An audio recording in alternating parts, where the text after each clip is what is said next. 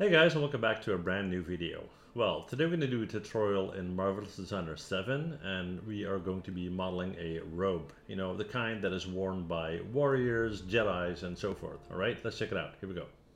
Okay guys, well we're in Marvelous Designer 7. Uh, let's get started. So I'm going to go up to uh, File and Add and click on Avatar. Come on, Avatar, yep. And I'm going to click on male B. That's the guy we want to use. And uh, let's load that up. And you can choose how you want him to be displayed. If you got a beefy system, you can do it like this. If not, you can go in and do something like this, which is a bit easier on your uh, on your resources. Okay. Now let's get started with our robe. So I'm going to start with my uh, polygon uh, tool right here. And I'm going to click on that, and I'm going to start on the shoulder, and I'm basically going to try to get this in one shot. And we're going to keep this nice and long because we want these robe sleeves to be quite long and a lot of folds and stuff. So we're going to go in like this, go into about here, and we're basically going to keep this very straightforward. To about there, click on the middle line, bring that up to, I would say, about here, and then close that gap. Okay. Now, what we're going to do next is we're going to go into that second button. We're going to click on the center line. We're going to right click and click on unfold, which will copy that over. So we have one section like this. Okay. Now this uh, we can move in uh, to the back in our 3D view, which will be the back panel. Let me see here. Just make sure it's in the right place. Yep. And then we need to uh, flip that around. So I'm going to right click and go to flip horizontally so that the right side is facing outward. As you can see, you've got gray and white. We want that white piece to be on the outside, right? And we're going to tweak this one later, but first we're going to copy it. So I'm going to go into this guy, select it, hit Control C to copy it, and hit Control V to paste it. And let's paste that in right there. Now that's going to be my front panel. So what I want to do there is go in and uh, cut that in the middle. So I'm going to need to uh, take an internal line. We'll just give this a sec. Just thinking about it. Uh, let's see, internal line right here. I'm going to click on that little dot and double click on the second one, which will create an internal line and that's where we're going to cut it. So I'm going to um, make sure it's selected. I'm going to right click. Uh, no, I have to go to this one first select it, right click and cut. Now that's going to be uh, my front panel as mentioned. So uh, let's go in here and I'm going to take one and two and then click on it again. Use the gizmo, move it in front until it's basically where it needs to be. Yeah, looks alright. I guess, and then we need to flip that as well. So we're going to right click and flip horizontally. So we got white on the outside. So far so good. Now, I uh, want to change this a little bit here. So I'm going to click on this dot on the back panel. I'm to delete that. And I'm going to go in and take that third button right there. I'm going to click on it. So I can um, slowly drag that down to kind of give that shape for the neck. Okay. Now I'm going to need that dot later, so I'm going to go to this guy and add a dot in the middle. And you'll see in a bit why we need that, okay? Right, let's see, um, what's next? So uh, we need to get sewing. Uh, let me see if I need to do anything here just yet, no. And sewing is always tricky because it's very easy to get your lines crossed. So you need to pay attention to your 3D model here. I'm going to go here and I'm going to go here, I think. Let me let me see. And we'll know that quick enough. If we look in our 3D view, we'll see whether those lines have been crossed. No, they have not, so that's fine. And then we're going to go from here to there. Okay, so we're going to go from outside to outside. So outside to outside.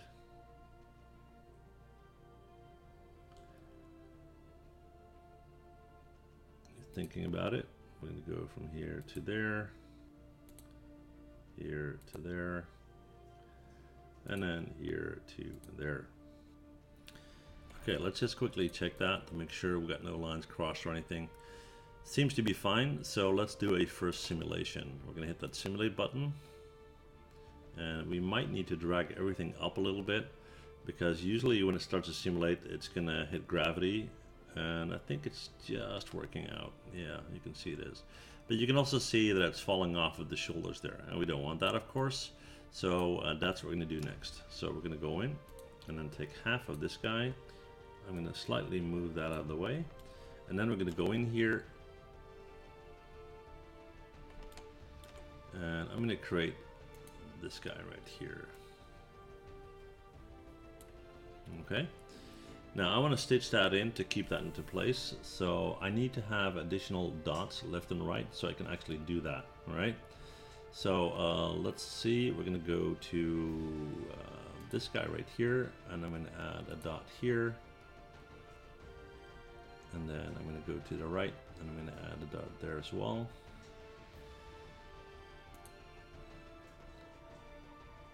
And then we need to go in and sew that together. So I'm going to take my uh, sewing machine, this guy right here, go from here to there, and go from there to there. Now you can see in our 3D view that this thing is uh, way out of place, so we're just going to move that to roughly where it needs to be. Yeah, and let's resimulate this guy. Here we go. And this should keep the uh, the robe together on the chest much more than before and we can go in and grab those shoulders and bring that up if need be. And if that is not enough we can simply close that area a bit okay? That's not too difficult. So what we can do there is we'll go in we'll go into edit and let's just uh, take this one and move that in a bit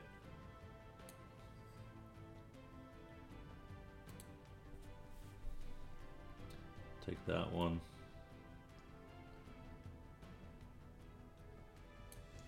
Move that in a bit.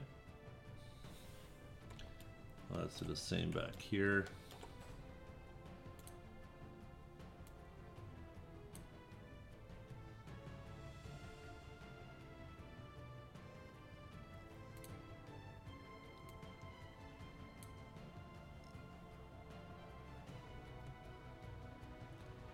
Do a new simulation, see if that helps. Yeah, that's much better. All right. Okay, so uh, that looks all right. Now, uh, for the very, very tricky part, what we need to do next is we need to add the uh, the hood, right? Let's just uh, drag this into place a little bit. Okay, so the hood. Uh, here we go. Now, um, we're gonna go in and start with our polygon shape again and I'm going to go in here and basically start by creating a rectangle. Nothing fancy right? Then I'm going to go into edit and I take that corner right there go into this guy take that curve and basically create something like this. Now this is uh, like I said a bit tricky. We're gonna go in and put a dot in the middle right there. And the tricky part is getting the stitching right, okay? So now that that's in place, I'm gonna start to move this um, to where it needs to go so I have a better idea of how to stitch it. We'll just give it a second. So I'm gonna take the gizmo and flip it around. I'm gonna move that down. Bring that in. And normally you want to have something like this be oversized okay? So that's basically where it's gonna go. And uh, I'm eyeballing the size here a bit so we'll see. So uh, let's see. So the back part of this needs to go to the back part of the uh, the robe there. So uh, let's go to my sewing machine and I'm gonna go from here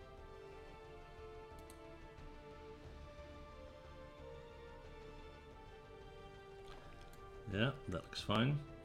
And then we're gonna go with the front piece to this one. That looks fine. And then we're gonna go in and we're gonna take this guy and we're gonna hit, uh, let's see, control C and control V. So we're gonna copy and then we're going to go in and we're going to right click and go to flip normal. We're going to move this into place and we're to need to stitch that guy as well. Okay, so this should go here.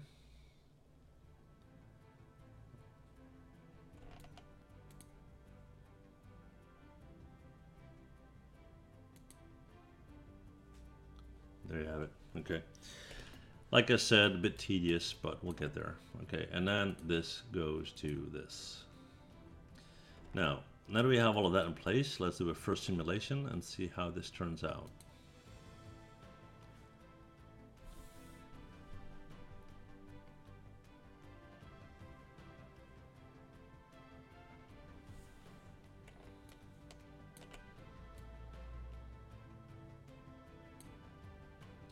Just pulling that forward and if you see those ears sticking out, that's fine. We can fix that by uh, just adjusting the, uh, the distance between the particles.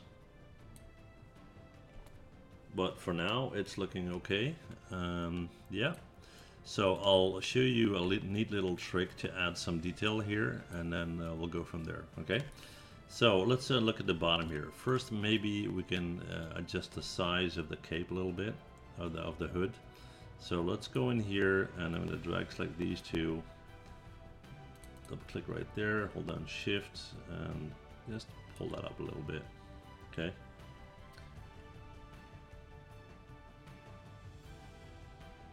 I just want to have a little bit more uh, more meat to it, if you will. Let me just resimulate that. Let's see if that helps a little bit.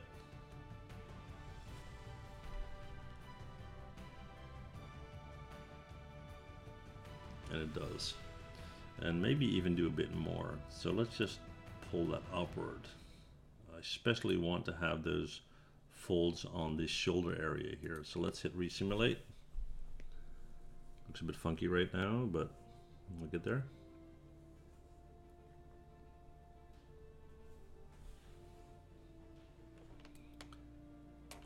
And you can uh, assist there if you like just by pulling it into place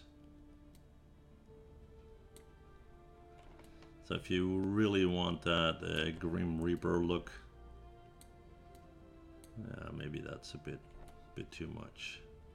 But you know what I mean, right? So we'll just uh, level that out a little bit.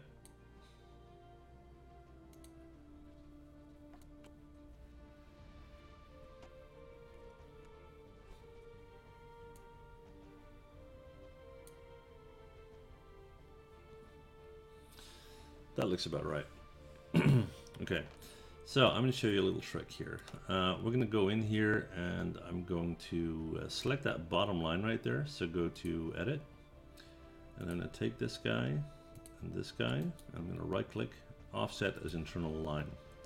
Let's set that to 10 centimeters, which will automatically select that line right there once it's done. And we're going to right click and go to cut and sew.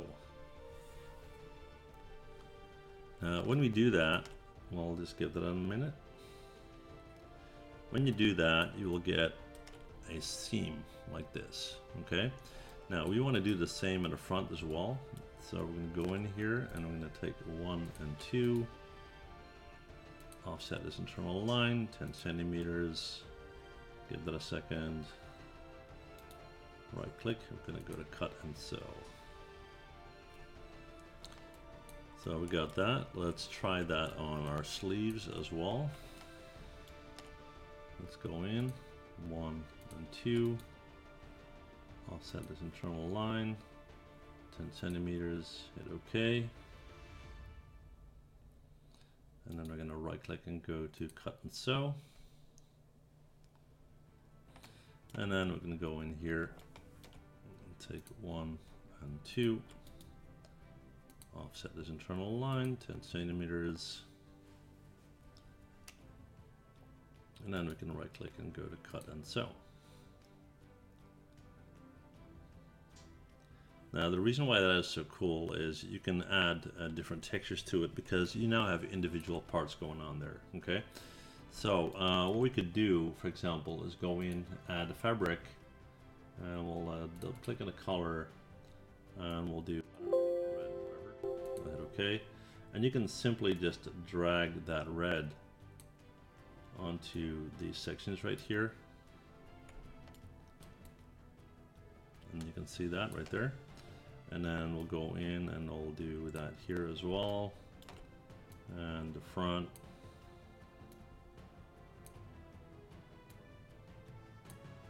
Just to give you uh, an idea of what you can do there. Okay. Now, uh, I'm happy with how this is looking so far. Uh, we can do uh, one more thing, which is kind of cool, and that is add stitching. Now, if we go up to uh, this uh, section right here, you have a segment top stitch and you got free top stitch. We're going to do that. We're to click on free. And what we're going to do is we're going to go in here and we're to start drawing on these lines. So just pull right there and end and we'll just uh, click on that when it's done. And we'll do the same here. So pull double click. And I'll show you in a second what that looks like when it's done. And every time you do that the blue line will turn red so you can see that's done. So we can do that down here as well